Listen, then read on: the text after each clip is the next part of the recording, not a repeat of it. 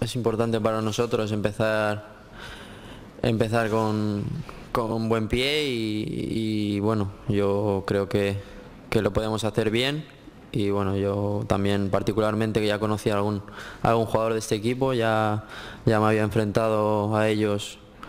en, en selecciones y, bueno, esperemos empezar con, con muchísima ilusión, con, con muchas ganas y a dejarlo todo.